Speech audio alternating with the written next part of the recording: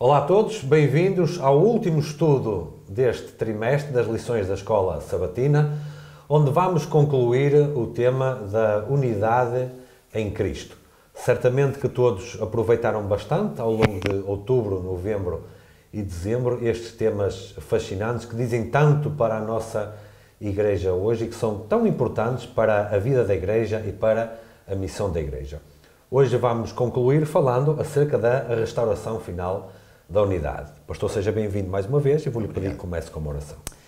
Querido e bom Pai, estás nos céus, obrigado, Senhora, pelo privilégio que nos dás de podermos ser portadores da tua verdade. Obrigado, Senhor, pelas tuas grandes e maravilhosas promessas, através das quais nós podemos alimentar a nossa esperança. Obrigado pela, por esta maravilhosa promessa de que todas as coisas serão definitivamente restauradas à sua beleza original. Ó oh, Senhora, que tu nos guies, que possamos, Senhor, falar apenas algo de acordo com a tua vontade e que possas, Senhor, através desta, desta lição, desta temática, reforçar a nossa grande fé de que finalmente, Senhor, chegará o dia em que não haverá mais morte, nem dor, nem tribulação, por todas as coisas passaram.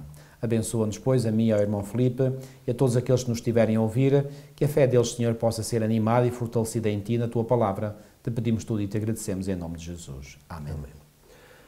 Pastor, quando terminei de ler portanto, o texto, a redação que o autor fez para a lição desta semana, eu fiquei a pensar, se todas as lições e tudo o que nós temos a dizer sobre este mundo fosse tal e qual como durante esta semana, nós andávamos sempre felizes e sempre hum, hum. Uh, contentes. Mas não é o caso.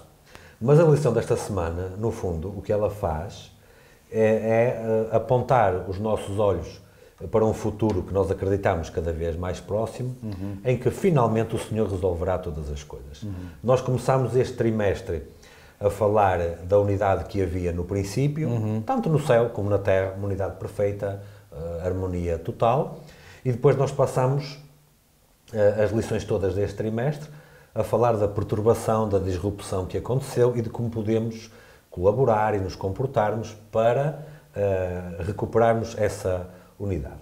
Esta última lição, ela fala uh, da restauração final dessa unidade, recuperando totalmente e plenamente aquilo que perdemos lá atrás. Uhum. Este é também um resumo da Bíblia, pastor. É, é.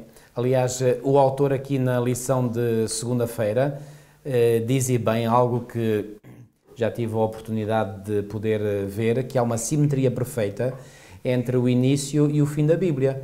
Por exemplo, uh, os dois primeiros capítulos da Bíblia falam de um Éden, de um mundo idílico, de um mundo paradisíaco, e os dois últimos capítulos da Bíblia falam também de um Éden, mas agora de um Éden restaurado. Portanto, e no meio está a história do pecado. Portanto, dois primeiros capítulos da Bíblia correspondem aos dois últimos capítulos da Bíblia, Apocalipse 20 e 21 ali 21, e 22. 21 e 22. E no meio da Bíblia está a história do pecado. Mas, no capítulo 3, o, o terceiro capítulo da Bíblia, que é Gênesis 3, fala do início do pecado. O terceiro capítulo a contar do fim, que é Apocalipse 20, aí sim, uh, fala da história do, do, do, o fim do, fim pecado. do pecado. E ainda há uma outra coisa muito interessante. Gênesis 4, que é o quarto capítulo inicial da Bíblia, fala da morte de Abel por Caim, que podemos dizer que foi a primeira guerra do Armagedon, portanto, os ímpios contra os justos, portanto, foi a primeira batalha do Armagedon. O primeiro tipo de batalha, batalha do Armagedon. Exatamente. E no quarto capítulo a contar do fim, ou seja, Apocalipse 19, temos a última batalha do Armagedon. Portanto, a, a Bíblia apresenta uma história simetricamente perfeita. Um, e isto mostra a sua, a, a, sua inspiração. E Deus no controle da história. E Deus no controle da história. Esse é que é o pensamento supremo para mim. Deus está no supremo controle dos acontecimentos deste mundo. Isso é um pensamento que me dá tanta paz, tanta tranquilidade, tanta... Fico mesmo tranquilo por saber, eu não tenho que me preocupar como é que está o mundo. Deus está no controle do mundo. Ou seja, pastor, lá no Jardim do Éden, quando nós, nós humanidade, aparecemos, nós estávamos aqui na plenitude das nossas capacidades físicas, mentais, intelectuais, espirituais, espirituais perfeita Exato. harmonia, perfeita paz e perfeita unidade, que é o tema exatamente, deste trimestre. Exatamente. E algo aconteceu que perturbou isso tudo e nós temos vindo a cair, a cair, a cair, temos vindo a declinar. Deus intervém, nomeadamente através da morte de Cristo, Exato. não há intervenção maior do que essa, desde logo, Deus intervém e as coisas começam a ser recuperadas Isso, lentamente, isso, aos poucos. isso. Não apenas aos poucos, mas aos poucos e cada vez mais. Começam a ser recuperadas até que chegará ao ponto em que nós recuperaremos ou seremos restaurados àquilo que perdemos lá Exatamente. no jardim, no jardim do Éden. E não certo? vai. Não, eh, o estado final não vai ser em nada inferior ao estado inicial. Ou será, porventura, superior até.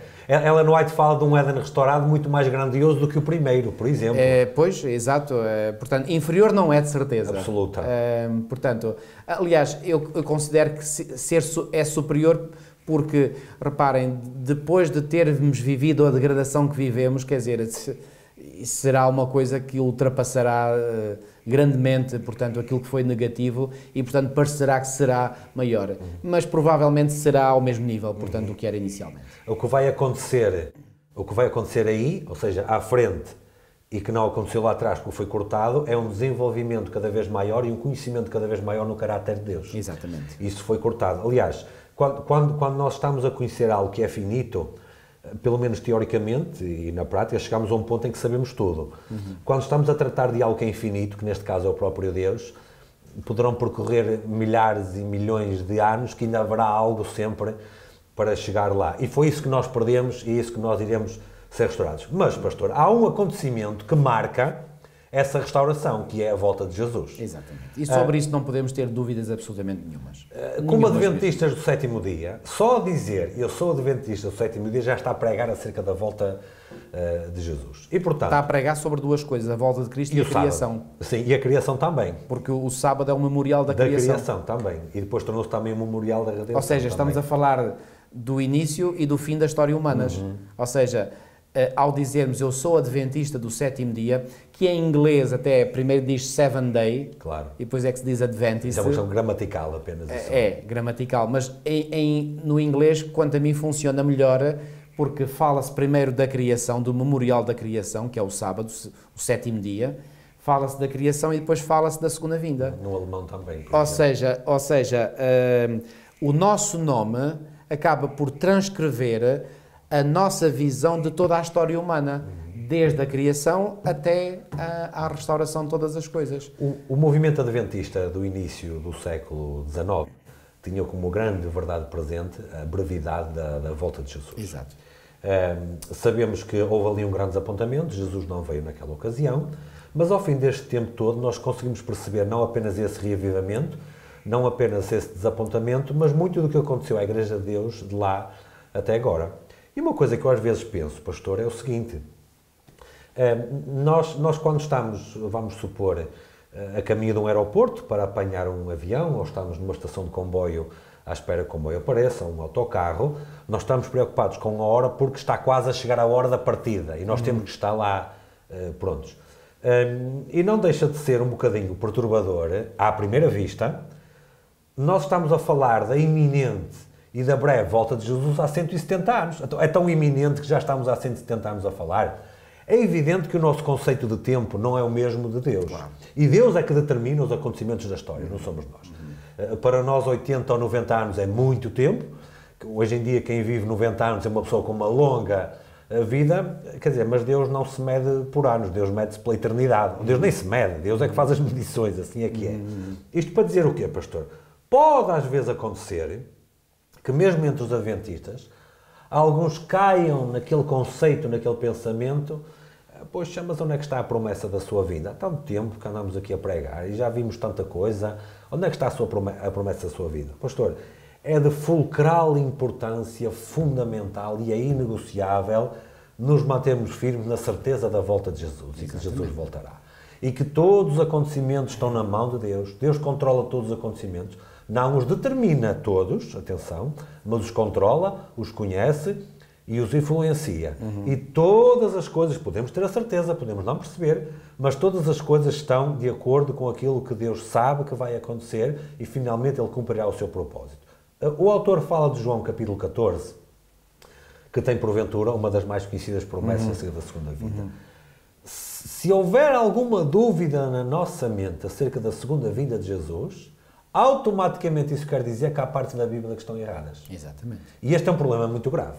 Uh, não podemos nunca colocar em causa qualquer questão acerca da segunda vinda de Jesus, logo seja revelada pelas Sagradas Escrituras, porque isso ia minar completamente a autenticidade e a veracidade das Sagradas Escrituras. Sem dúvida. Por isso eu gosto muito deste título que o autor deu, a certeza da volta de Cristo. Não é possibilidade ou não, hipótese. Não, não, não. É a certeza. A certeza. A certeza. Um, não temos a certeza o quando será, mas temos a certeza de que será. E, portanto, isso não há dúvida alguma. Portanto, Cristo vai vir.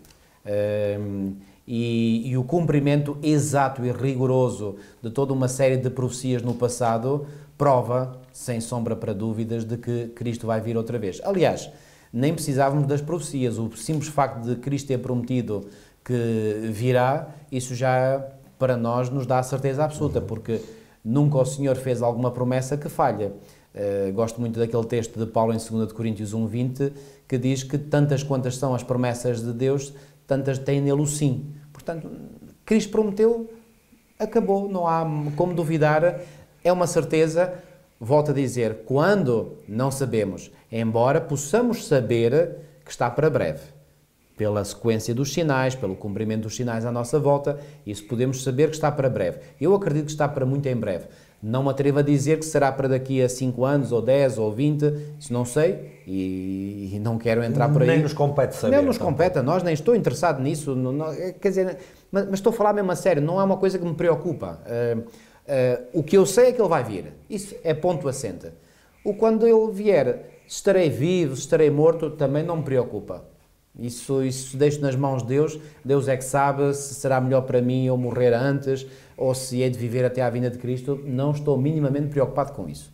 Uh, o que eu quero é estar preparado claro. e quando ele vier, que vai vir, eu ir com ele para o reino eterno. Essa sim, essa é a minha preocupação. Pastor, o autor diz aqui na parte de domingo que a segunda vinda de Jesus está intimamente ligada à sua primeira vinda. Claro. Eu gostaria de ler um texto que não está aqui na lição, mas é um dos meus textos preferidos que está em Gálatas no capítulo 4 e no uhum. versículo 4 também, uhum. uhum. que diz: Mas vindo a plenitude dos tempos, Deus enviou o seu filho, nascido de mulher, nascido sobre a lei. Então está a falar da primeira vinda de Jesus, quando ele não apareceu nas nuvens dos céus, mas apareceu na barriga de uma mulher. Certo. E diz aqui o autor que a segunda vinda está intimamente ligada a esta primeira. Uhum. Acerca da primeira, diz que ele surgiu na plenitude dos tempos. Exato. Uh, por que razão, então, é que a segunda também não seria na plenitude dos tempos? É a mas, pergunta que eu faço. Mas eu acredito plenamente que a segunda vinda dar-se-á igualmente na plenitude dos na tempos. Na plenitude dos tempos. Mas, uh, Jesus não disse, e temos isso em Mateus 24, dito que, reparem, uh, o Senhor foi muito claro ao dizer isto. Uh, 24, 36. Mas a respeito daquele dia e hora ninguém sabe,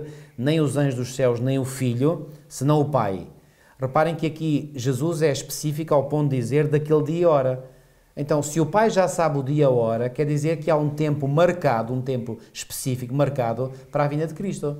Portanto, quando chegar esse dia e a hora, será a plenitude do tempo para a segunda vinda de Cristo. Como diz a White, eh, e estou a parafrasear, porque não sei citar uh, ipsis verbis, tal como os astros, as estrelas, os planetas Tem nas suas órbitas, aqui, então talvez a possamos ler. Os desígnios de Deus, e eu gosto desta expressão, não conhecem atraso, nem conhecem adiantamento. Exatamente, isto está em, em Desejar Todas as Nações, página 23, mas como as estrelas no vasto circuito da Isso. sua indicada órbita, os desígnios de Deus não conhecem adiantamento, nem demora. Nem demora. Portanto, é nem naquele... um minuto a mais, nem um minuto a menos. É naquele tempo. Faz lembrar a expressão que Moisés utilizou para descrever o dia em que saíram do Egito, hum. em que ele disse, naquele mesmo dia. Naquele mesmo dia, Ou exatamente. seja, não foi cá um dia à sorte, Deus não, planeou, não, não. Deus terminou é e, aquilo, e aquilo aconteceu. É, Filipe, deixa-me dizer-te que essa, essa é uma das coisas que mais me fascina no estudo da Bíblia.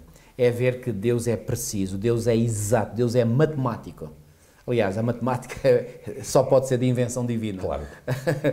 é, é, rigoroso, não falha nada.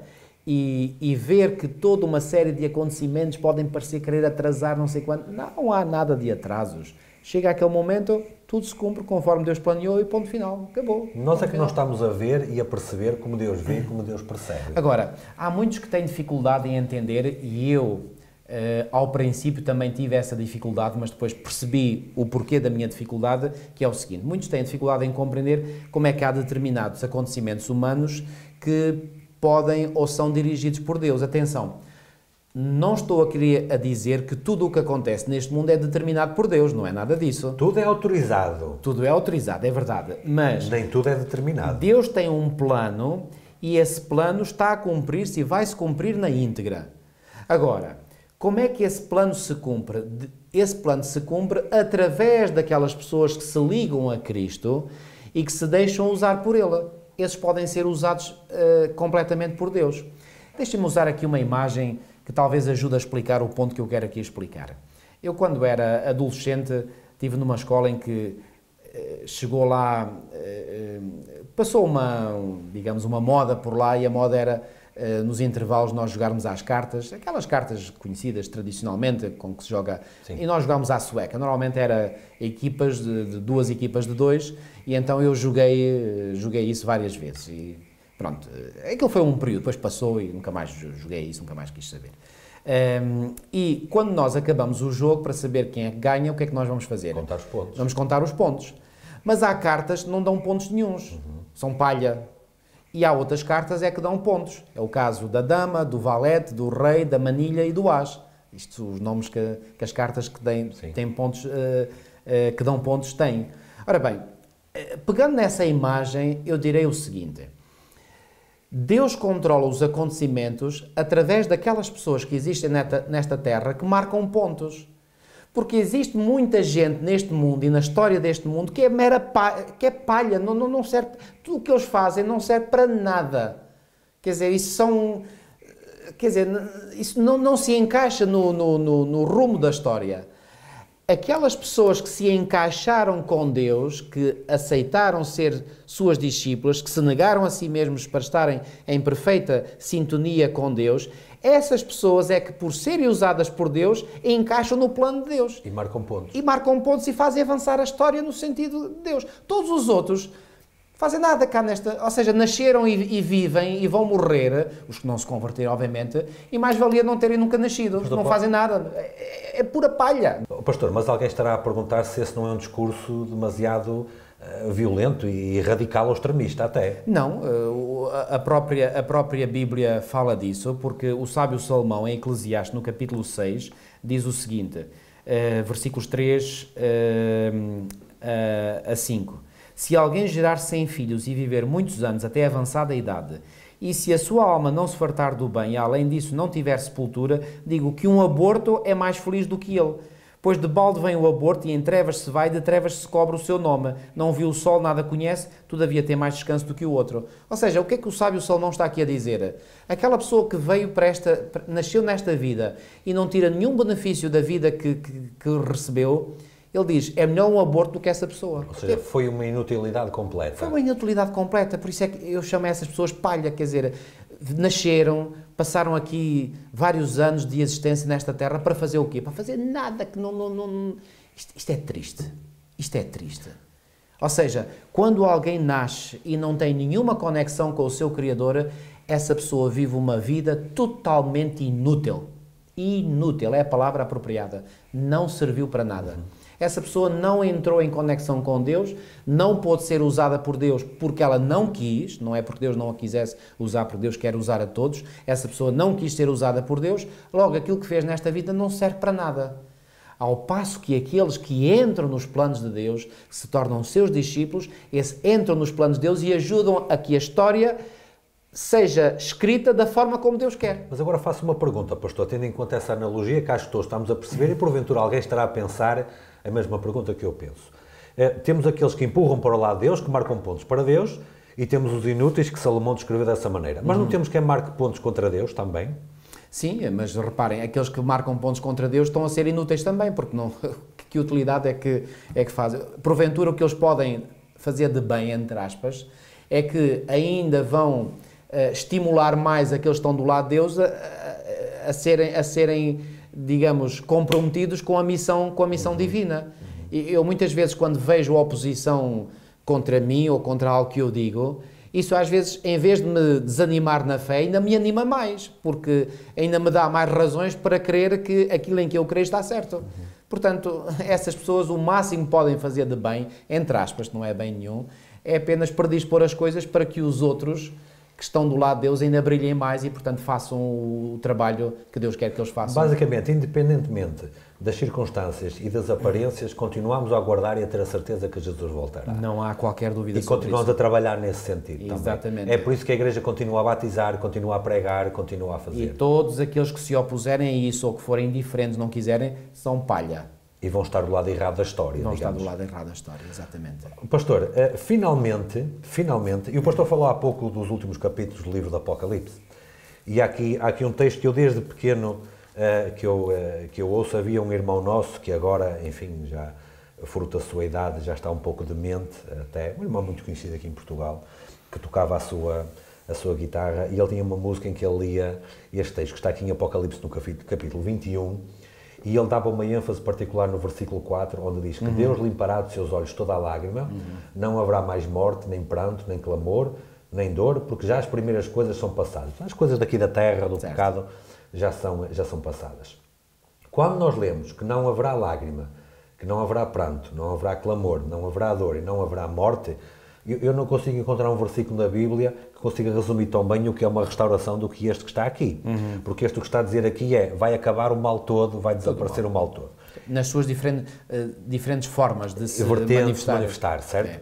É. Imediatamente, quando eu li isto que está aqui, eu lembrei-me daquele testemunho que a irmã White deu, de que numa visão, ou em algumas visões, ela quando recuperava a sua consciência, os seus sentidos, não sei se esta é a melhor maneira de dizer, após a visão, ela não queria ficar aqui, ela queria voltar lá para o local que ela tinha visto na sua visão. Ou seja, quando ela contemplava aquilo que nos espera, aquilo que ela tinha era tão mau, mas tão mau, mas tão mau, que ela até chorava e queria voltar à visão uh, novamente. E agora faço a pergunta aqui ao contrário, pastor. Será que desgraçadamente nós estamos tão contentes e tão satisfeitos com a vida que nós temos aqui, com o mundo que nós temos aqui, que inconscientemente até nem queremos que Jesus volte. Vou dar, vou dar um outro exemplo bíblico para nós compararmos. Quando finalmente, hum, no tempo de Daniel em Babilónia, ele se apercebeu que aqueles 70 anos que Jeremias tinha profetizado estavam a acabar Exato. e o povo iria regressar a Israel, nem toda a gente regressou. É verdade.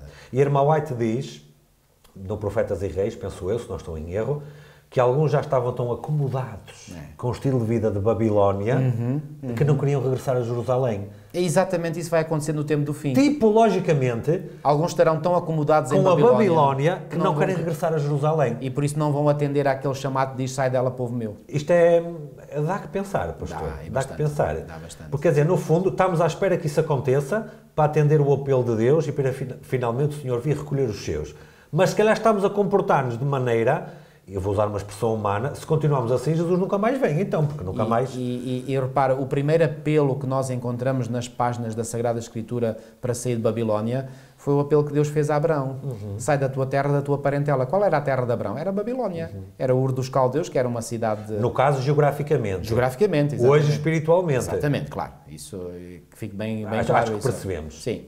Uh, portanto, uh, e Abraão saiu sem saber para onde ia, conforme nos diz Paulo em Hebreus 11, sem saber para onde ia, mas saiu. Saiu Isso, porque Deus disse. Exatamente. Isso é fé.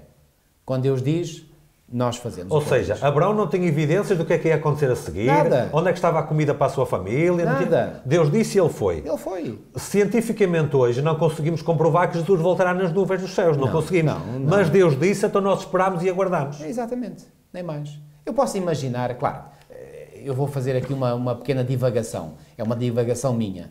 Uh, seguramente que não aconteceu, penso eu, que não terá acontecido uh, conforme eu vou divagar.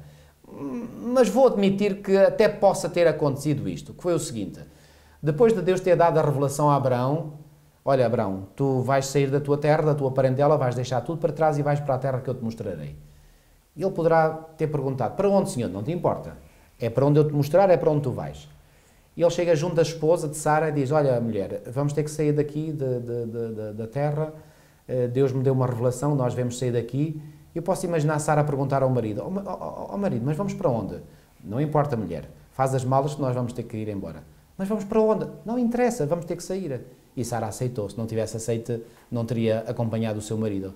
Reparem, isto mostra como perante um assim diz o Senhor nós não devemos questionar minimamente. Quando Deus diz, está dito. Ponto final, parágrafo, não há mais discussão. Ou aceita ou não aceita. Ou aceita ou não ou aceita. quer ou não quer. E portanto, todos aqueles que no tempo do fim ouvirem o apelo sai dela povo meu, e provavelmente até haverá, porque repara, Babilónia aqui não é mais um local geográfico, mas será mais um estado de espírito, não é?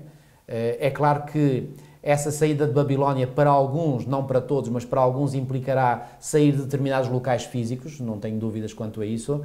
Mas esse apelo provavelmente até será um apelo que será feito a alguns adventistas do sétimo dia, que estão num estado de espírito babilónico. Embriagado Embriagados, com portanto, com o vinho de Babilónia, para usar a expressão certo. do livro do Apocalipse. E, portanto, eles vão ser chamados a um apelo que lhes é feito para saírem desse estado de espírito. E alguns não vão aceitar. Isso, isso é terrível. E ao não aceitarem, pois bem, sofrem as consequências. Uh, o Senhor também fez um apelo aos antediluvianos para saírem do mundo onde estavam e entrarem na arca que ele tinha predisposto para a salvação deles. Não quiseram. Olha, o pior foi deles. O pior foi deles. E a história, já dizia o sábio Salomão que não há nada de novo debaixo do sol, a história se repete e se, e se repete. E, e outra coisa, nós hoje temos às vezes a tendência, e até podemos eh, manifestar essa tendência com, com uma boa intenção, porque nós queremos a salvação dos nossos queridos, dos nossos familiares, dos nossos amigos. E o que ainda é mais dramático é quando se trata de alguém ainda mais chegado, como uma esposa, um marido, um filho, uma filha. Um, mas reparem, uh, nós não podemos obrigar ninguém. Uh, se Deus que é Deus não obriga, quem somos nós para obrigar? E, e alguém poderá estar a ouvir-me dizer: Oh, pastor, mas isso é, isso, isso, isso é muito duro. Então eu vou deixar que o meu filho se perca, que a minha filha se perca. Bom, repare, você pode e deve fazer tudo o que está ao seu alcance para convencer esse seu filho que está num caminho errado, a sua filha que está num caminho que não deveria seguir. Ah, isso sim, tenha a plena certeza de que isso é legítimo você fazer. Agora, você tirá-la de lá ou tirá-lo a ele de lá desses caminhos, isso ninguém pode fazer. Nesse caso, perdem-se dois em vez de perder só um. É, e, e, e, alguns poderão pensar, oh, pastor, mas isso é muito duro. Eu sei que é muito duro. E não é duro aquilo que Deus tem vindo a sentir ao longo de milénios? Ver tantos dos seus filhos se perderem? Uhum ao longo de todos. Não houve nenhum momento em toda a história da humanidade que Deus não tenha dirigido apelos a todos os seres humanos. E você não acha que Deus tem um, um, grande, um grande peso no seu coração, uma grande dor no coração, por ver tantos milhões e milhões e milhões de pessoas rejeitarem os seus apelos e perderem-se? Entregarem-se de mão beijada a Satanás? Isto deve ser uma dor incrível. Nós não, não nós não conseguimos imaginar a dor que será no coração de Deus ver tanta gente a perder-se. Eu gostaria de mencionar. Eu um penso que aquele, aqueles que vivem a perda de um filho, de uma filha, de um familiar próximo, talvez compreenderão um pouco melhor aquilo que Deus sente no seu coração. Uhum. Eu queria mencionar um caso histórico, não da Igreja Adventista, mas do movimento Adventista, que foi na, na antecipação para o grande desapontamento de 22 A Igreja Adventista nunca deixou de ser um movimento. Exatamente, mas houve uma altura que era movimento e não era igreja ainda, organizada, pelo okay, menos. Não já é? estou a perceber. Uh, mas na, na Aliás, não devemos nunca deixar de ser um movimento. Corretamente. Seja, está sempre em movimento. Corretamente. Daí é o termo movimento, ou seja, é algo que não está estático. Exatamente, é está, é dinâmico. É, movimento, é dinâmico. Certo. E, portanto, como eu estava a dizer, na antecipação para aquilo que veio depois a ser o grande desapontamento, quando Jesus não voltou, em 22 de outubro de 1844, uhum. no dia 21, no dia anterior, o filho de Joseph Bates e da sua esposa Prudy aborreceu-se tanto com aquilo que estava a acontecer que abandonou a casa no dia anterior ao grande hum. desapontamento. Hum. Abandonou, disse que não acreditava mais naquele fanatismo, naquele extremismo religioso todo e abandonou o pai e a mãe e disse que ia-se fazer... Eh, isso vem expresso naquele filme que, que a Conferência uh, Geral publicou? Possivelmente. É. Exatamente, isso mesmo, isso Exatamente. mesmo, sim.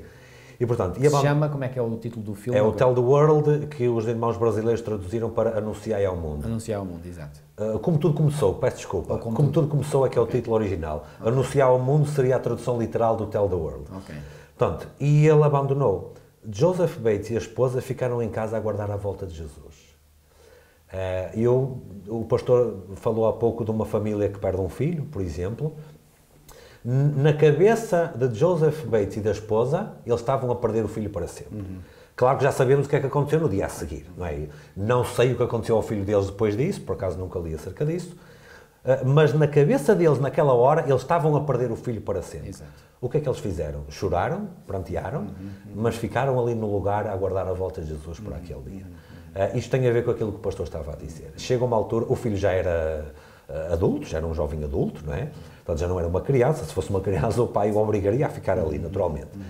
Mas chega uma altura em que cada um é responsável por si próprio. E cada um decide por si próprio. E nós podemos advertir, aconselhar, eh, enfim, seja o que for. Eu, com 16 anos, abandonei a igreja, por exemplo. Uhum. Uh, e, portanto, tornei-me responsável por mim próprio, como é evidente, não é? Cada um é responsável por si próprio. E quando chega a esse momento, temos que perceber que há uma decisão individual que deve ser respeitada. Uhum. Se Deus respeita não quer dizer que está de acordo, Exato. mas se Deus respeita e permite até aqueles que o insultam diretamente, eu também tenho que respeitar o meu próximo, nem que seja da minha. Eu tenho familiares meus que não são adventistas, eu tenho uhum. familiares meus que estão batizados e já não frequentam a igreja, por exemplo. Sim, sim, sim. Eu tenho que aprender a respeitar, porque cada um dará contas por si mesmo, conforme o pastor está a dizer. E nós temos aquela parábola que Jesus ensinou, a parábola do filho pródigo, e, e, e, muitas vezes talvez nós não paramos para pensar a dor que aquele pai sentiu e sofreu quando viu o seu filho eh, sair de casa. Ehm, a Bíblia não descreve os sentimentos do pai, mas para bom entendedor meia palavra basta. Claro. Não é necessário estar lá uma descrição exaustiva do que é que o pai sentiu para nós percebermos que aquele pai ficou muito magoado. Basta dizer que o filho abandonou a família que toda a gente fica logo então, apreensiva é, com isso, para dizer o mínimo. Agora, o, o, pai deixou de ser pai, o pai abandonou a casa. De... Não, ele continuou no exercício das suas responsabilidades como chefe de família cuidando da restante família. Mas deixou o filho assumir a sua, a sua decisão. Deixou também. o filho assumir a sua decisão, o filho saiu, nunca se esqueceu desse filho, é verdade, e a prova que nós temos de que ele nunca se esqueceu desse filho é que quando o filho estava a regressar, o pai o conseguiu perceber lá ao longe, o que significava que o pai estava permanentemente, todos os dias. À espera que ele regressasse. A, a, a, fazer um scan do horizonte para ver se o filho regressava, e quando ele viu lá um vulto, ele conseguiu identificar que era o filho dele e correu ao seu encontro. Pastor, quando nós, quando nós entramos no nosso ministério pessoal, na obra do Evangelho e tudo mais, é, quando aparece aquele primeiro amor, que é uma expressão que nós conhecemos muito bem na igreja, nós temos esta ânsia, este desejo que toda a gente aceita aquela verdade que nós aceitamos e que transformou a nossa vida e que nos mudou completamente e que nós sabemos que à frente eh, vamos receber uma benção e um prémio ainda muito maior. Mas depois, na prática, isto não é tão fácil quanto isto. Depois, na prática, o que é que acontece? Depois, na prática, nós percebemos que aquilo que a Bíblia revela desde lá atrás até agora é que a maioria, a maioria das pessoas não aceita a mensagem. A maioria das pessoas não recebe a mensagem como nós tanto gostaríamos que pudessem, que pudessem receber. Isto às vezes pode provocar uma pequena apreensão. Porquê? Porque algumas dessas pessoas que não aceitam são algumas que são próximas de nós, são algumas que nos são queridas, por aí fora. Hum, felizmente a parábola do filho pródigo termina bem. Uh, termina bem para o filho pródigo, mas não termina bem para o filho mais velho. Que nunca saiu de casa. Que nunca saiu de casa. Um, há alguns que se perguntam o que é que terá acontecido com esse filho. Eh, Jesus, pura e simplesmente, ficou silencioso quanto ao que aconteceu àquele filho mais velho mas a, a parábola do filho pródigo é, é, é, extremamente comovente e eu nunca consigo deixar de, de, de, conter a emoção quando falo dela, porque eu próprio já fui filho pródigo e, portanto, eh, senti no meu coração o poder do amor do Senhor quando eu regressei. Eh, e, portanto, eh, temos aqui a, expressa de uma forma icónica, prática, visualizada uh, o que é o amor de Deus. Quer dizer, é este amor que, que, que, que está sempre à nossa espera, que, que, que anseia pelo nosso regresso. E quando nós regressamos, o Senhor uh, recupera-nos completamente. Repara o que é que aquele pai fez pelo filho. Quer dizer, ele vinha todo, todo, todo sujo, todo porco, a cheirar mal, seguramente, a cheirar a porcos, porque não foi tomar certamente banho antes de chegar a casa. E, e o pai o abraça naquela, naquela condição. Portanto, veste-lhe uma roupa nova, veste uma faz roupa, uma festa para ele, põe-lhe o anel no dedo, chama toda a gente para se alegrar com ele. Exatamente, portanto, quer dizer, que, que melhor descrição nós podemos ter, uma descrição prática, simbólica, do grande amor de Deus por nós. E, outra, dizer, e outra coisa que às vezes também não falamos, o pai não diz, agora vais ter que pagar para, me trabalha, para trabalhar e dar-me o dinheiro que eu te dei e que tu desperdiçaste. Ou seja, a partir dali há um, um reset completo Exato. e começa de novo como se não tivesse acontecido aquilo que estava para trás. Exatamente, exatamente. Aliás, é, é, é outra forma de, de descrever aquilo que está escrito em Miqueias 7, 19 e 20, quando diz que o Senhor lança nas profundezas do, do mar, mar os nossos pecados. Portanto, é isso que o Senhor faz por nós.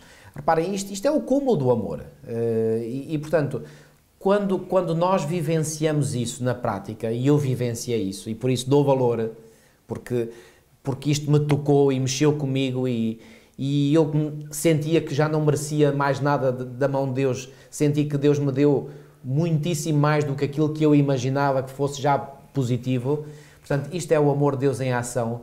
Uh, nós devemos ter sempre isto em mente quando nós pregamos o Evangelho, quando nós sentimos pessoas aceitar o apelo de Deus porque essas pessoas, Deus faz tudo por elas. E se Deus faz tudo por essas pessoas, quem somos nós para impedir que as uhum. bênçãos atinjam, as bênçãos divinas atinjam essa pessoa? Portanto, nós nos devemos regozijar com esses.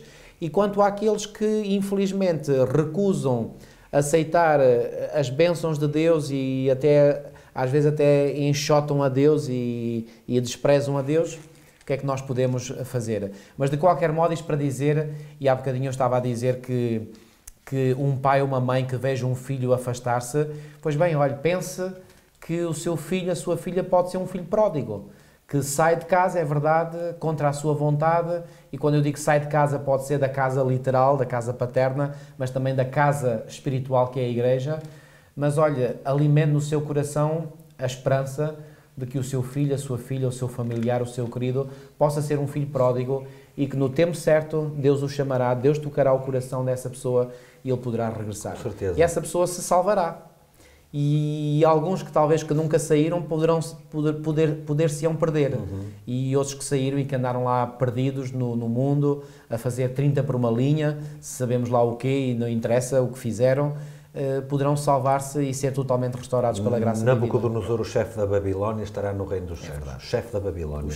Agora, se analisarmos isto tipologicamente, até nos pode perturbar aqui. Seria o mesmo que dizer que teremos um Papa ou qualquer coisa mas é, mas é isso mesmo. no Reino dos Céus e poderemos ter com toda a Poderemos ter, porque Pastor, não. Eu, eu resumiria esta Cada, questão do filho pródigo. Se, se, algum deles se arrepender, claro. e, e Deus Oxalá quer Deus o leva à minha frente, claro, desejo. Então... Esta questão do filho pródigo e que o pastor disse, eu talvez resumiria da seguinte maneira.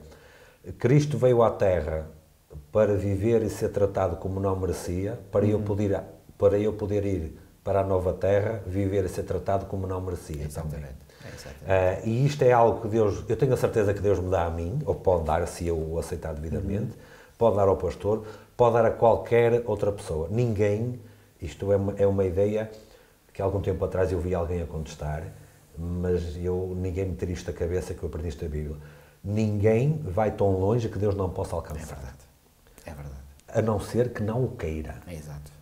Mas aí Deus não é que não possa alcançar, a pessoa não quer ser alcançada. É. Agora, se a pessoa quer ser alcançada, aconteça o que acontecer. A Bíblia tem exemplo de prostitutas que vieram fazer parte do reino de Deus. A Bíblia tem exemplo de reis que passaram décadas a adorar ídolos e, e, e no fim da sua vida. Olha, temos um exemplo, por exemplo, do rei Manassés na Bíblia. 44 que, anos. Que fez 30 por uma linha, ofereceu filhos, filhos sacrificados a ídolos. Coisa incrível. E quando o Senhor permitiu que a crise viesse sobre ele, ele foi preso por, com ganchos pelos assírios, etc., ele converteu-se e, por se ter convertido, não só foi salvo, foi reposto na sua função de rei eh, e foi salvo e estará um dia no reino dos céus. Eh, Manassés. Se alguém está a pensar hoje que foi longe demais e que Deus não o ama mais, isso é um pensamento de Satanás na é, cabeça da pessoa. É, ponto final. É, é, Portanto, Deus, se, se, se, nós lemos a história do plano da salvação e vemos aquilo que Deus fez uhum. ao tornar-se homem, que é algo que nós uh, explicamos em palavras humanas que não alcançam, se calhar, nem um décimo, ou seja lá o que for, daquilo que realmente isso uhum, uhum. Uh, representa, porque no fundo isso é um estudo da eternidade. Se Deus foi ao ponto de fazer isso, o que é que Deus não poderá fazer hoje para me salvar e para me libertar a mim ou qualquer pessoa, seja qual for a desgraça em que ela esteja envolvida? Eu recentemente li um livro, um livro que foi escrito com, com pseudónimos, até, o próprio autor e os, e os personagens, que relata um caso real de um cidadão brasileiro que veio para a Europa e que foi envolvido numa rede de prostituição masculina. Hum. Uh, e é um, um, relato terrível que eu não quero sequer imaginar na minha mente o que aquele rapaz terá passado. Hoje pertence à nossa igreja. Amém. Hoje está pertence à nossa igreja. Amém. E portanto, se nós até, numa dimensão e num padrão humano, achamos que há pessoas que caem ainda mais fundo do que outras, uhum. uh, deixe-me ler numa, como eu estava a dizer, com um padrão humano. Há pecados que são desgraçados, há outros que são pequeninos. Não é bem assim que a Bíblia não, diz, Mas, mas vamos ler assim Aliás, muitas vezes até existe é o contrário. Aqueles pecados que nós achamos pequeninos são, são os maiores é, à vista de Deus. Por exemplo, para Deus o pior de todos é aquele que causa intrigas entre os irmãos, desde logo. E, e, temos o pecado do orgulho, que por foi exemplo. como tudo começou. Mas pronto, mas vamos o dizer que a razão é mais humana, grave do que qualquer outro pecado. A origem de todos os outros. É a origem de todos Vamos dizer que a razão humana, até socialmente, alguém envolvido em prostituição e nesse tipo de degradação moral é uma coisa terrível. E é, é uma coisa terrível. Sim, claro, vamos dizer. Dúvida. Deus conseguiu restaurar essa pessoa. Uhum. Deus restaurou um homem que entregou os filhos, que os queimou em sacrifícios, como uhum. o pastor disse. Porquê é que não restaurará qualquer pessoa que está a assistir Deus agora? Deus restaurou a Davi, cobiçou uma mulher que não era dele. provocou a morte de outro com um complô muito bem organizado. Depois cometeu adultério com ela, engravidou-a e depois... Não para, restaurou Moisés que matou um homem, por para exemplo. Para encobrir aquele adultério mandou matar o marido. Temos o caso de Moisés, temos o caso de Paulo que fez o que fez, mandou matar tantos cristãos. Nós temos tantos e tantos casos na Bíblia de pessoas que caíram baixo, que fizeram 30 por uma linha e que foram recuperados pela graça de Deus.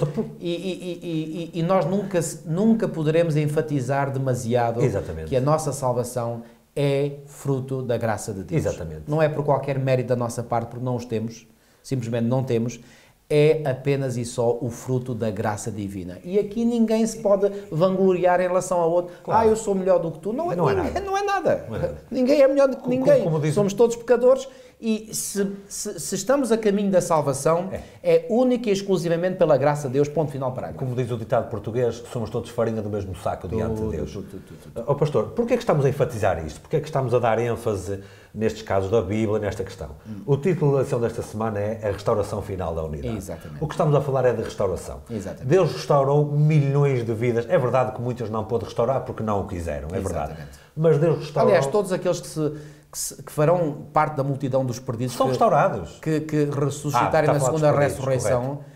Nenhum deles se salvou porque não quis. Não quis. Não Agora, foi por culpa divina. Todos os que se salvaram, todos eles são restaurados. Todos eles. Todos eles são recuperados. Todos. Não há ninguém que diga não precisa de restauração e não precisa. Aliás, a Bíblia diz que não há justo nenhum só. Exatamente. Claro que isto não, não, se aplica à pessoa de Jesus, que é um, claro. é um à parte. Hum. Até, até, nisto ele é o, único no género, não é? Até nisto. Sim, mas também porque ele é o único ser humano que também é Deus. Com certeza. Nenhum também de nós não há é Deus. como isso. Ou seja, todas as pessoas que nós hoje lemos na Bíblia e elogiámos a sua história, porque fizeram grandes conquistas. E ainda passámos, no trimestre passado, passámos aqui um bom tempo a elogiar Paulo, que foi um grande missionário. Todos são restaurados. Todos são desgraçados pecadores restituídos à glória de Deus que precisam Abraão, por exemplo, que é chamado o pai da fé, que foi chamado e, e, na Bíblia existem textos que falam que ele era amigo de Deus, foi considerado amigo de Deus, é. As falhas que ele teve. É, um, polígamo e um mentiroso, desde logo. exatamente. E foi um restaurado também. Foi restaurado. Um polígamo exatamente. e mentiroso, estamos a falar de episódios, episódios. concretos da vida, não estamos exatamente. a falar que passou a vida toda nisso. Exatamente. Aliás, na poligamia passou uma boa parte uma boa parte da vida, pelo menos Jacó, para ter os filhos. Jacó, por exemplo, já viveu muito tempo com quatro mulheres, não é? Por exemplo. Uh, bom, quatro, isto é, eram duas mulheres, bom, isso já bastava pelo ser polígamo, não é? Mas teve mais filhos de duas concubinas, não é? Portanto, teve filhos de quatro mulheres e, no entanto, foi o servo de Deus que foi. Há, há restauração para esses, também há restauração hoje. E quando Deus o restaurou, quando se deu a luta de Jacó no val de Jaboca, ele tinha as quatro mulheres. Uhum. E, e, nada na Bíblia dá a entender que quando ele passou por essa experiência que ele abandonou as mulheres. Uhum. Bom, isto, isto daria aqui pano para mangas agora. Um se... dia gravaremos um vídeo sobre esse tipo de assunto. e, e, e, atenção, que ninguém me entenda mal que eu não estou aqui a defender a poligamia. Com certeza. Nunca defendi nem estou com a defender. Certeza, com Nada disso. O que eu estou a dizer é que eu estou a pôr a graça de Deus acima de todas as nossas falhas.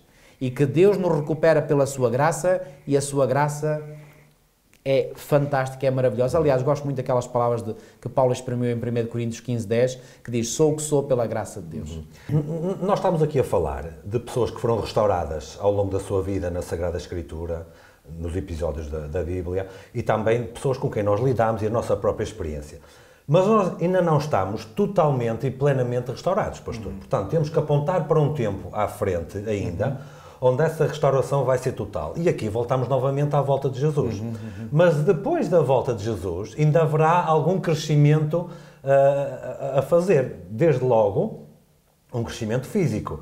Sabemos que pela inspiração revelada em Irmã White, Adão vai ressuscitar com a altura que ele tinha, altura física, uhum. uh, quando morreu. Uhum.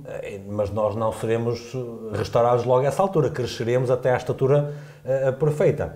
Mas há aqui um texto que às vezes causa alguma confusão, que é o quê, pastor? É um texto que nós encontramos, e o autor faz referência a isso mesmo, um texto que nós encontramos no livro do Apocalipse, e que fala da cura das nações. Porque alguém poderá perguntar, e com lógica, alguém disse uma vez que não há, não há perguntas idiotas. Pode haver respostas idiotas, agora perguntas não. E a pergunta tem muita lógica até. Ó oh, pastor, então, se isto é depois da ressurreição, se isto é já no reino dos céus, se isto é numa altura em que já não há doença, não há lágrima, não há morte, por que falar de cura das nações? Então, mas afinal de contas, de que é que precisamos ser curados se já estamos com boa saúde uh, nessa ocasião? Ainda há alguma restauração a fazer? Essa, essa é uma pergunta extremamente pertinente. Aliás, essa pergunta esteve na minha mente durante algum tempo porque nós sabemos pela revelação, e Paulo é categórico em afirmar, que, por exemplo, quando Jesus vier, a nossa natureza pecaminosa será totalmente transformada. Ou seja, hum, a natureza pecaminosa que iremos ter até à vinda de Cristo, atenção, não estou a falar do caráter, que isso é diferente. Já aqui enfatizamos que nós iremos ter uma natureza pecaminosa até à vinda de Cristo rigorosamente até à vinda de Cristo. Mas o nosso caráter não pode ficar pecaminoso até à vinda de Cristo. Tem que ser transformado antes, uhum. ok? E podemos viver um caráter à imagem e à semelhança do nosso Redentor, apesar de vivermos de uma natureza pecaminosa. Isto é possível. Paulo é muito claro em Romanos 6, quando diz: Não reina o pecado em vosso corpo mortal. Isto vem em Romanos, no capítulo 6 e no versículo 12. Até posso ler esse, esse texto, que é muito explícito. Paulo diz então: Romanos capítulo 6 e versículo 12, não reine, portanto, o pecado em vosso corpo mortal, de maneira que obedeçais às suas paixões.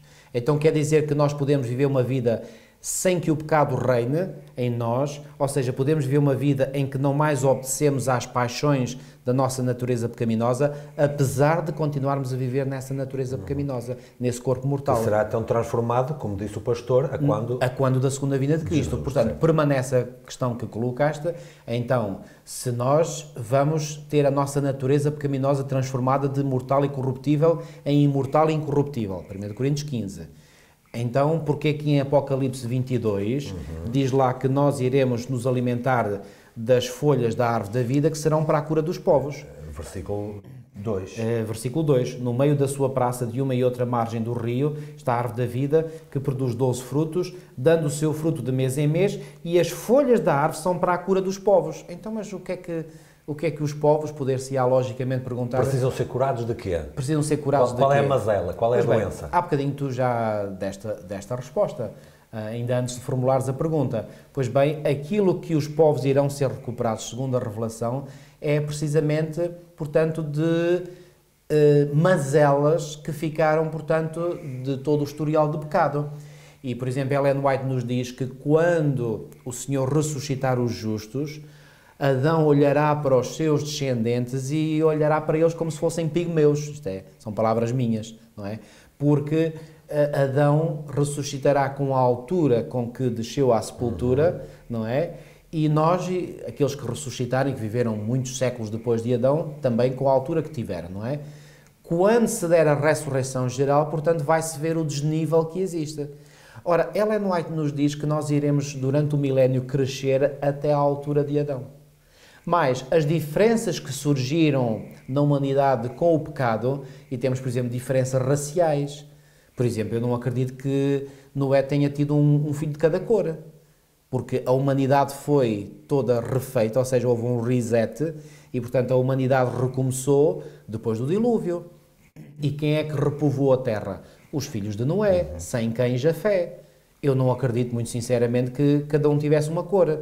No entanto, não deixa de ser interessante que as três, que as raças que existem a nível mundial são três. Pode haver depois uh, cruzamentos entre raças, mas há três grandes raças, E essas três grandes raças provêm de Sem Cães Jafé. Portanto, todas essas diferenças, diferenças de altura, de estatura, portanto, da raça humana, diferenças de raça, tudo isso se vai, digamos, desfazer, harmonizar, harmonizar e seremos todos, cresceremos todos até à altura de Adão e teremos finalmente todos a mesma cor que Adão tinha. Que, devo dizer, a raça de Adão não é a raça que nenhuma das raças que hoje existe. A irmã White faz referência a aspecto rosado. Rosado, exatamente. Portanto, que, que é uma cor que hoje não existe. Uhum. Uh, nenhum de nós é rosado. Eu nem sei bem como é que será essa cor que Adão teria, mas, mas não é seguramente a cor de nenhum de nós. Eh, às vezes nós falamos da raça branca. Bom, é tudo menos, menos branca. Não há raça branca. Uh, também a raça negra não é, não é verdadeiramente negra, é um, é, um, é um castanho escuro. E nós somos um castanho claro, portanto, isso são tonalidades de cor, porque no fundo a cor se calhar é toda a mesma entre os seres humanos. As tonalidades é que variam mas a cor é a mesma. Mas iremos todos ter a mesma cor também. Portanto, eu acredito que aqui estas, estas folhas desta árvore da vida serão então para esta cura, uhum. para restaurar tudo à imagem como era no início. Uhum. Uh, e também creio que esta restauração será para restaurar eventualmente algumas deficiências de caráter que não foram polidas. E alguns poderão perguntar: deficiências de caráter? Uh, e eu pergunto: Teve o ladrão que morreu na cruz tempo para passar pelo tempo da santificação? Não teve. Porque aquilo que nos dá o acesso ao céu é a nossa justificação. Bom, a Bíblia diz, é claro, Hebreus 12, 14: Segui a paz com todos e a santificação sem a qual ninguém verá o Senhor. É verdade que a Bíblia diz isso. Mas que tempo é que o ladrão teve para santificar? Praticamente não teve tempo nenhum. Portanto, aquilo que abre os portões do céu de par em par perante nós é a justificação. A santificação é o nós nos irmos habituando, ou, ou seja, a viver como já iremos viver no céu. Mas poderá haver pessoas, e certamente haverá, que não tiveram tempo para que o seu caráter tivesse sido completamente polido. Pois bem, no céu isso vai acontecer. Os únicos que já vão polidos desta terra, eu acredito, serão os 144 mil. Uhum esses já vão totalmente polidos os, desta terra. Os que não passarão pela morte durante o tempo da angústia. Exatamente. Que é um grupo seleto, especial. Especial. E que, que, até durante a eternidade terá uma função diferente e especial Ela também. não diz, por exemplo, que os 144 mil entrarão no templo uh, de Deus que está no céu e os outros não entrarão. Portanto, e a Bíblia diz que são os que seguem o Cordeiro para todo lado, onde quer que ele vá. Exatamente.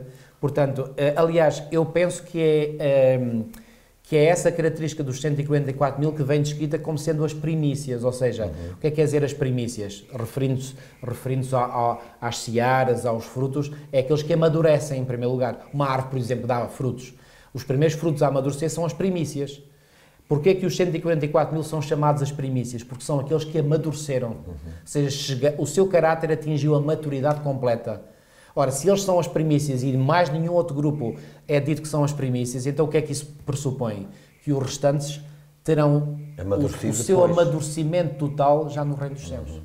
E no fim desse processo, então, toda a gente será restaurada. Todos estaremos ao mesmo nível. E aí podemos falar da restauração final da unidade, aliás, podemos falar da restauração final de todas as coisas. Exatamente. Físicas, morais, espirituais, tudo, tudo comunitárias, tudo, tudo. tudo e mais alguma coisa. E após o milénio, aí sim na nova terra, que será recriada por Deus, e que os redimidos assistirão ao processo de criação. Ou recriação, Recriação, exatamente. Hum, portanto, essa terra feita nova ou renovada será o lar eterno do, de todos os redimidos. Ou seja, nós habitaremos novamente neste planeta uhum. onde habitamos hoje. Exatamente. Só que este, este planeta será irreconhecível. E daí para, é? a frente, daí para a frente, com toda a história que passou, aí então se cumprirá o plano de Deus para o homem que vive Ou seja, nesta terra. quando nós dizemos que haveremos de habitar no céu, é por um período limitado. Claro. É apenas durante o milénio. Porque após o milénio. É nova terra. É na nova terra. E, aí, e aqui é que viveremos por todos os séculos infinitos da, da eternidade. Nova terra com tudo novo e com tudo restaurado. Tudo restaurado. A conclusão final do grande conflito entre Cristo e E vai-se cumprir finalmente e na totalidade aquela, aquela afirmação que Deus fez no início, dizendo: Crescei e multiplicai-vos e enchei a terra. Uhum. A terra estará cheia. De salvos, neste caso. De salvos que, portanto, serão todos aqueles que irão ocupar os lugares deixados vagos por Satanás e os seus anjos. Uhum. Isso é outra parte fascinante de, de, da teologia bíblica. Portanto, os redimidos irão ocupar os lugares deixados vagos por Satanás e os seus anjos. Não é tem várias frases onde ela diz isto. Um, e, portanto, o que é que acontecerá? Portanto, o buraco deixado vago no universo pela defecção de Satanás e dos seus anjos será completado. Uhum não haverá reprodução, porque a Terra está cheia, não é? Assim como se não tivesse havido pecado, a, a, a reprodução da raça humana ter-se-ia feito até um limite. Que era que a Terra estivesse cheia. Até a Terra e encher a Terra, disse Jesus. Uhum. Quando a Terra estivesse cheia, eu estou convencido que a reprodução pararia e, portanto, aí atingiria. Quando o número dos da, da, da, raça humana atingisse o nível, o mesmo número dos, dos anjos caídos de Satanás. Essa é a reflexão que está no comentário bíblico Adventista do sétimo dia, a Gênesis 1.27, por exemplo. E, por exemplo. Agora, o que, é que, o, que é que vai, o, o que é que o pecado trouxe? Bom, o pecado veio atrasar tudo. Quer dizer, um processo que em poucos eh, séculos talvez uhum. se concluiria, uh, sim, séculos, acredita em séculos, portanto, veio demorar milénios eh, porquê? Porque, entretanto, muitos desses da raça humana, como eu dizia há bocadinho, foram palha. Oh, pastor, e, mas portanto, até, por aí, até por aí podemos ver que os planos de Deus não podem ser impedidos. Quer dizer, não, não podem. Veio alguém que atrapalhou, mas finalmente tudo será... Tudo, tudo será, será restaurado exatamente é. consoante o plano original de Deus. Tudo. E aí será o momento em que já como diz eh, o profeta menor eh, Naum, que não se levantará a angústia duas vezes. Exatamente. A partir daí já não precisaremos de mais restauração, porque não haverá nada já para ser eh, restaurado. Já estarão todas as coisas na plenitude das suas faculdades, desenvolvendo-se cada vez mais no conhecimento do próprio Exatamente. Deus. Pastor, vou-lhe pedir para terminar este trimestre com uma oração, por favor. Ó oh, querido e amado Pai que estás nos céus, muito obrigado, Senhor, pelo privilégio que tu nos dás de podermos refletir na tua palavra nos planos que tu tens para nós e que são claramente revelados na tua revelação. Senhor, muito obrigado por todas as coisas. Ó oh, Senhor, como nós ansiamos que chegue esse momento em que tu finalmente iniciarás o processo da restauração de todas as coisas. E esse grande momento para o qual a nossa atenção está virada é para a tua segunda vinda com poder e grande glória. Ó oh, Senhor, é essa a bem-aventurada esperança de todos os cristãos em todos os séculos e particularmente de nós que vivemos na última geração ou nas últimas gerações da história deste mundo. Ó oh, Senhor, que a nossa que nada nem ninguém nos possa fazer duvidar da certeza da tua vinda e que essa mesma vinda dará início a um processo de restauração que aliás já se iniciou com a, a tua morte na cruz do Calvário, mas que a partir da tua segunda vinda, então aí será numa cadência eh, mais intensa e finalmente e após o milénio tudo, mas absolutamente tudo atingirá o nível de harmonia de perfeição conforme tu tinhas idealizado no início. Obrigado por esta revelação magnífica que nos anima, que nos conforta, que nos dá esperança e ânimo neste mundo perturbado e conturbado no qual nós vivemos. Nós te agradecemos por tudo, em nome do Senhor Jesus. Amém. Nós voltamos na próxima semana para o fascinante estudo do livro do Apocalipse, que será o tema das lições da Escola Sabatina desde janeiro até março de 2019. Até mais.